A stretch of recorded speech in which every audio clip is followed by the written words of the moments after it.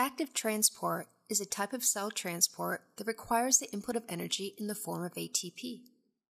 The proteins that conduct this form of transport are often called pumps because they force molecules or ions to move from an area of low concentration to an area of high concentration. This is commonly referred to as against the concentration gradient. One of the more common examples of active transport is the sodium potassium pump. The job of the sodium potassium pump is to move sodium ions, or Na, out of the cell, and potassium ions, or K, into the cell.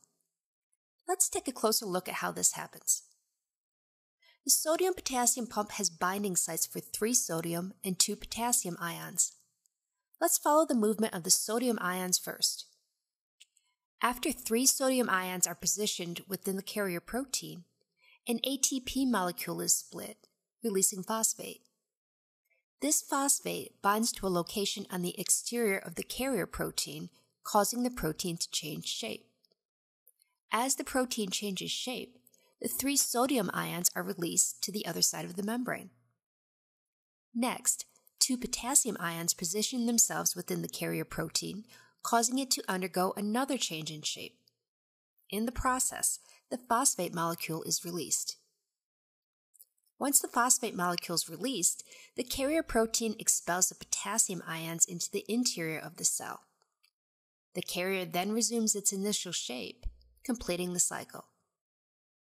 Notice that for every three sodium ions leaving the cell,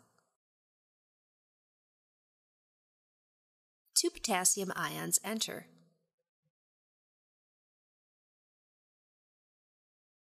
Since both sodium and potassium ions have a positive charge, this unequal movement causes an electrical gradient to develop across the plasma membrane of the cell.